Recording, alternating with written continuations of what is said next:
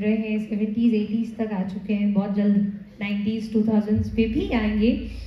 एक ऐसी अदाकारा जिन्होंने शुरुआत ही की लेजेंडरी फ़िल्म मेकर सत्यजीत रे के साथ और शुरुआत से ही अपने इंटेलिजेंट फ़िल्म चॉइसेस के लिए उन्हें अप्रिसिएशन मिला, वो जानी गई कमर्शियल सिनेमा और पैरल सिनेमा दोनों ही में उन्होंने बहुत बैलेंस वे में एक्ट किया। उनका डिस्क्रिप्शन यूँ कहें कि करीना कपूर जी की सासू माँ लगती हैं।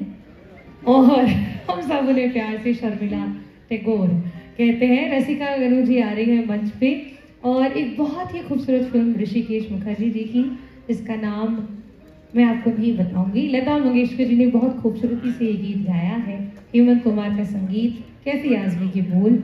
आइए इस खूबसूरत से गीत को सुनते हैं रसिका जी के साथ।